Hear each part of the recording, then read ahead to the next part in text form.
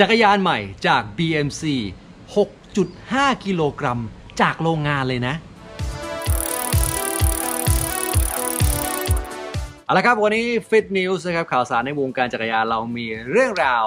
ของจักรยานอย่างที่บอกนะครับ สุดเบามาฝากกัน BMC ก็เปิดตัวจักรยานใหม่ของเขานะครับ ก็จะเป็นตระกูลซีรีส์ SLR นะครับ ตัวท็อปเขาก็จะใช้ชื่อว่า SLR 01 ปี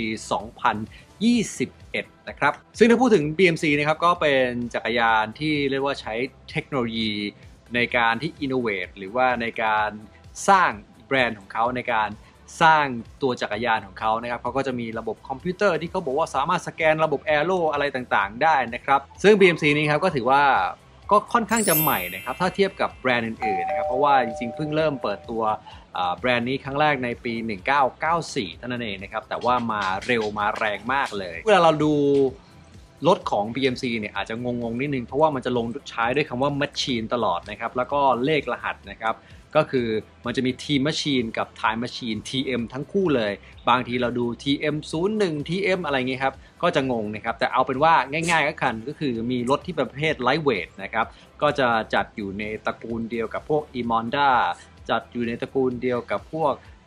TCR Advanced อะไรพวกนี้นะครับ ก็จะเป็นรุ่น Teammachine นะครับ เพราะว่าขี่กันหลาย ๆ คนขี่เป็นทีมนะครับใน peloton ก็คือ Teammachine ส่วนรถสไตล์ aero ของเขาก็ใช้ชื่อ Timemachine ไปนะครับ ส่วนซีรีส์ที่กำลังจะพูดถึงนะครับก็คือซีรีส์ SLR เนี่ยนะครับ Teammachine ก็เบาหวิวมากเลย ไฮไลท์ของ SLR ปี 2021 นะครับเขาบอกว่านะครับอย่างแรกเลยนะครับ Aero กว่าเดิม 6%เลยทีเดียว วันนี้เจ๊ก็จับไฮไลท์ต่างๆนะครับเอามาฝากกันนะครับ เอารวบรวมข้อมูลสถิติจากทางเว็บไซต์ของเขาเอามาฝากกันนะครับ แต่ว่าถ้าเกิดว่าได้ลองแบบจริง ๆ จังๆก็เดี๋ยวจะเอามาไล่ให้ฟังแบบละเอียดอีกทีนะครับ ก็สำหรับไฮไลท์ของเจ้า SLR 01 ตัวนี้นะครับเขาก็บอกว่าอย่างแรกเลยก็คือ Aero กว่าเดิม 6%ซึ่งความ Aero กว่าเดิม 6%นี่ก็ค่อนข้างเยอะนะครับเขาเทียบเคียงนะครับจากจากความเร็วหลาย ๆ ความเร็วนะครับไม่ใช่แค่ความเร็วสูงสุดเท่านั้น บางครั้งอาจจะ save ได้แค่ 2%บางครั้งอาจจะ save ได้ 9%เพราะฉะนั้นเขาก็เอามาเฉลี่ยนะครับอยู่ที่ประมาณ save กว่าตัวที่แล้วซึ่งสาเหตุที่ Aero หรือว่า save กว่าเดิม 6%นะครับก็ได้มาจากอย่างแรกเลยก็คือตัว cockpit ของเขาจะมีความ integrate หรือว่าควบรวมนะครับ ตัวบาร์ตัว stem แล้วก็ซ่อนสงซ่อนสายต่างๆ แล้วมันก็จะไม่ได้เป็นรูปทรงค่อนข้างจะเหลี่ยมเหมือนตัวเก่าแล้วนะครับ ก็จะมีตัดโค้งตัดมนค่อนข้างที่จะเนียน สามารถเก็บสายได้อย่างเนียนกว่าเดิม และอันที่2นะครับก็คือเรื่องของตะเกียบที่ดีไซน์ใหม่ที่เขาบอกว่าเนี่ยแหละครับความ aero มาจากตรงนี้ส่วนหนึ่ง แล้วก็ส่วนที่3นะครับก็จะเป็นเรื่องของ seat stay drop stay ตัวข้างหลังนะครับหางหลังตัวนี้ก็เรียกว่าเป็นดีไซน์ original ของ BMC เลย เพราะว่าปัจจุบันเนี่ยถ้าเห็นแบรนด์อื่นๆนะครับก็จะใช้ดีไซน์นี้ในเกือบทุกแบรนด์เลย เพราะว่าตัวหางด้านหลังเนี่ยนะครับเวลามัน ลงมาต่ำลงนะครับ มันก็สามารถที่จะหลบลมได้มากขึ้น และเขาก็บอกว่าไอ้ตัวนี้นะครับยิ่งทำให้หลักอ่านมันยิ่งยาวกว่าเดิม มันก็เลยสบายกว่าเดิมคอมฟอร์ตกว่าเดิมด้วยนะครับ ปัจจุบันเราก็เลยจะเห็นรถที่มีดีไซน์ประมาณนี้นะครับ ค่อนข้างที่จะเยอะ แล้วก็ Aero ตัวต่อไปตัวที่ 3 หรือ 4 แล้วนะจำไม่ได้เอาเป็นว่าตัวสุดท้ายที่จะพูดถึงนี่นะครับ ก็คือตัวขากระติกอะบางทีเราอาจจะไม่นึกถึงนะครับ แต่ว่าเขามีการดีไซน์ ตัว down tube ใหม่นะครับ ก็คือตัวท่อล่างเนี่ยดีไซน์ใหม่หมดเลย รวมถึงให้ควบรวมกับตัวขากระติก ให้มีความ Aero เขาบอกว่าไอ้พื้นที่ระหว่างขากระติกกับตัวเฟรมนะครับเขาลบพื้นที่ตรงนี้ออกทำให้มีความส o t h ทำให้แอร์ได้ผ่านไหลลื่นมากขึ้นนะซึ่งดูแล้วมันก็ดูเนียนดีนะครับ แล้วก็แถมไอตัว bottle cage นะครับหรือว่าตัวขากระติกนี้มันเบากว่าเดิมอีกด้วยนะ ซื้อลดราคาขนาดนี้แล้วก็แถมขากระติกผมว่าก็โอเคนะ อบอยากรู้ใช่ไหมว่าราคาของคันนี้อยู่ที่เท่าไหร่เดี๋ยวติดตามฟังเอาละครับเรื่องของความ Aero Aero กว่าเดิม 6%นะครับแล้วก็อันที่ 2 ก็คือเรื่องของความ Lightweight เบากว่าเดิม 9%ซึ่งตัวเก่านะครับก็เบาอยู่แล้ว อันนี้เบากว่าเดิมอีกตั้ง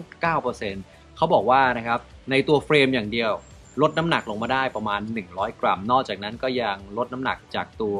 ตะเกียบแล้วก็ตัวหลักอาร์มาได้อีกอย่างละเกือบเกือบ 100 กรัม รวมทั้งหมดทั้งคันเลยนะครับ ในรถไซส์ 54 หนักเพียงแค่ 6.5 กิโลกรัม เท่านั้นเอง โอ้โหเบาวิว คือหลาย ๆ ยี่ห้อตอนนี้ออกมานะครับ น้ำหนักเนี่ยเลข 6 นี่เห็นกันเยอะมากเลยนะครับ แต่ว่าราคาก็โหดร้ายอยู่นะครับ นั่นคือ 1 ข้อนะครับ1ไฮไลท์ที่ BMC เขาจัดมาให้เบากว่าเดิม 9%แล้วก็ข้อสุดท้ายก็คือ เรื่องของความ stiff นะครับเขาบอกว่ามีความ stiff หรือว่าความจะใช้คำว่าแข็งก็ไม่ได้นะครับ ใช้คำว่าคล่องตัวดีกว่า stiff ขึ้น 20%แล้วก็ไอ้20%ที่พูดถึงนะครับมันเป็น lateral stiffness อธิบายนิดนึงดีกว่านะครับ ความ stiff หรือว่าความแข็งเนี่ยนะครับ มันแบ่งออกเป็น 2 อย่างก็คือ 1 คือ lateral คือความ stiff ในแนวขนานนะครับ แล้วก็ vertical stiffness นะครับ ก็คือความ stiff ในแนวตั้งนะครับ การที่มีความ stiff ขึ้น แต่ว่าเป็น stiff ในแนวตั้ง มันก็ทำให้บางทีขับไปแล้วมันกระด้างนะครับ แต่ว่าถ้าเกิดว่า stiff ขึ้นในแนวขวาง มันก็จะทำให้รถเนี่ยกระทืบไปแล้วก็พุ่งขึ้นกระชากได้ดีขึ้นนะครับ ซึ่งวิธีการพิสูจน์เนี่ยผมก็มันก็พิสูจน์ไม่ได้นะ เพราะฉะนั้นเราก็ฟังหูไว้หูนะครับกับเคลมต่างๆ ที่ทางค่ายจักรยานเขาเรียกว่ามีการโปรโมทออกมานะถ้าถามเรื่องความ stiff สุดท้ายนะครับ มันก็จะเป็นเรื่องของความรู้สึก ถ้าเกิดว่าไม่ได้ลอง ก็คงจะไม่รู้อยู่ดีนะครับสำหรับเวอร์ชันนี้นะครับก็จะมีเฉพาะ disc brake เท่านั้นปัจจุบันเนี่ยครับเทคโนโลยีในเรื่องเกี่ยวกับ disc brake ก็เรียกได้ว่า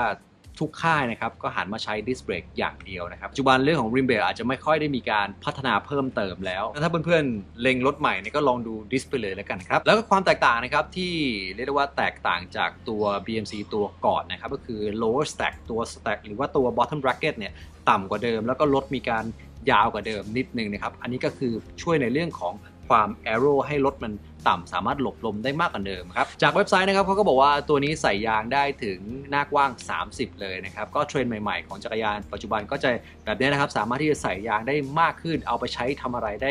มากกว่าเดิมครับ ในตัว top นะครับ SLR 01ก็อย่างที่บอกนะครับ น้ำหนักอยู่ที่ 6.5 กิโลกรัมเท่านั้นเองนะครับ ส่วนราคาครับ ตัวนี้นะครับตัว top ของเขานะครับก็มีเริ่มต้นขึ้นตั้งแต่แต่ขอคำนวณก่อนตึ๊ดตึ๊ดตึ๊ดตึ๊ดสองแสนหกหมื่นบาทนะครับเริ่มต้นตัว top จนถึง 4 แสนบาทเลยทีเดียว โอ้โห เป็นไง